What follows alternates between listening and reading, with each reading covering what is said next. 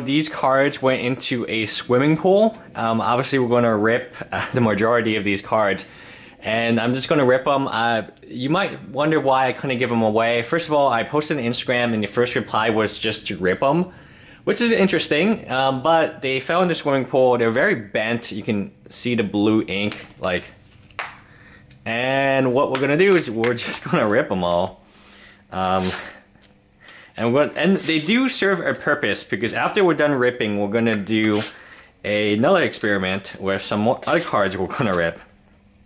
So they fell into a swimming pool and I tried to make them a little better, but I could not. As you can see, the blue core paper, which is gonna be relatively important for the next part of this segment, is, yeah, let's just, uh, these cards were not very good. There were obviously cards that were also found in the pool, which were, you know, really good cards, but, you know, those cards I might just keep for playability. These cards, there's no playability to them, pretty much. But they do come in play sets, and that's always kind of nice to do. I believe it's 59 of them.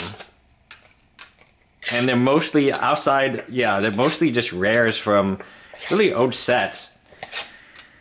But yeah, um, they I honestly couldn't send it to somebody because it does smell, and I don't want to send like moldy cards like to people. I just hate sending cards that are not um, in the best condition, if you will. And definitely, this is like not. I mean, they're just not. I guess you could sleeve them up, and then it would be So you can see the blue core, um, and that will be, so, whoops. That is a lot of elves. You can see the blue core. And that's it. Um, well, no, there's one more. One elf survived. and, and then that's it. Bye, guys.